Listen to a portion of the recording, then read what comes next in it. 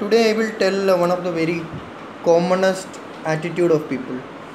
Of people what they think that they need to save money. What for? For future use. Then what they need to do? Why for future use? If they get ill uh, no. If they want to enjoy their life for vacations for retirement plans. They want to save a lot of money for their children. If the children wants to have children and children wants to have children and their children wants to have children and for all of them for their house for their studies for their everything they are saving. And in the hurry to make money and to save money they forget about their health and immunity. They forget how to be happy at that moment. And then what happens? They take a lot of stress and tension. They don't have time to make food with love. They make it in a hurry. They don't care for health. And they eventually die at 50 years or 60 years. They would not have saved enough for their children or whatever they want to do their plans and everything एक दिन one day suddenly death knocks at your door and tells it's time let's go क्या फायदा what is the fun in living like this you're living a life in which you have not at all enjoyed you have not lived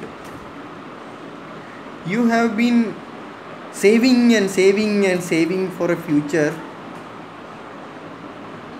which you did not have. You you you won't have at all. If you don't follow my simple advice priority of you is you yourself. The inner you. Not the body not that mind or intelligence that awareness that soul of you that is the priority. Spend time with yourself. Improve yourself. Make yourself a better person every day. Spend 15 to 20 minutes doing some exercise or something like that. Focus on longevity. Focus on calmness courage strength confidence that faith faith in that god which is inside everyone live the moment there is no point in saving don't give anything to your children हाँ you heard me right बच्चों को कुछ नहीं देना don't give anything to your children. Give something into them. Show them how to live the life. They will imitate you and automatically they will learn to live.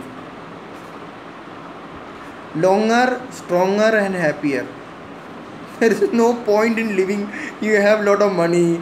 You have three four house three four houses a lot of cars lot of money inside your double bed inside your almara you have lot of money in the bank lockers and other things. There's no point. You will have to find time to enjoy these things. And that too not after retirement right now. Every moment of your life help others enjoy every moment. It is the cutthroat competition of this century which is causing all the problem. You are trying to earn money and other things to impress people you just don't like. The people you hate your neighbors your relatives you are trying to impress these people. I don't know why. You hate them why do you impress them? You're buying a big house to show it off to the community and community who is hating you and envious to you. What is the big deal? What's the point? Your children are getting a good job. Nobody cares. What is relevant is whether you are happy and healthy and whether your body is fulfilling that promise made to the almighty to help the humanity पहले सोच लो think about this you are a servant of god and you are supposed to do service to the humanity you are not doing it what with the honor of this world things यार ये तो selfish है the fellow is selfish and your judgment will be written the thing that matters is the things you do to the society and you do to your children. The things you which will help them how to survive the future how to live longer and happier. Money doesn't create happiness. Money creates more problem more taxes more envious people more tension more stress to manage this money manage your health and immunity so that you can enjoy your money. Prosperity should always be accompanied by spirituality. That means the way to live happier. Take care. Keep watching dr k babu channel. Have a good day